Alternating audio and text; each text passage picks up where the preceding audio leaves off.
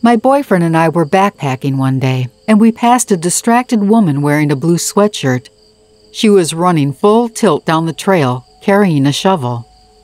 We didn't think much of it, that is, until we passed by her 10 minutes later. She was burying a stroller, a pack of diapers, baby clothes, baby toys, and the blue sweatshirt. Hmm.